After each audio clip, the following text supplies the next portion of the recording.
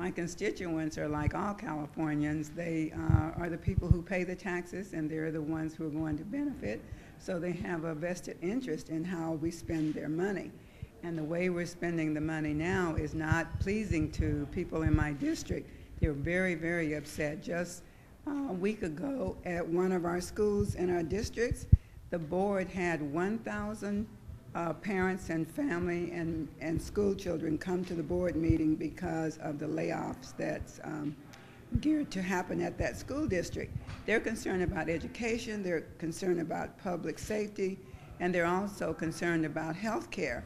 They don't understand why the governor wants to just cut 10% across the board without looking at all state uh, programs and see where the 10% would be mo most feasible.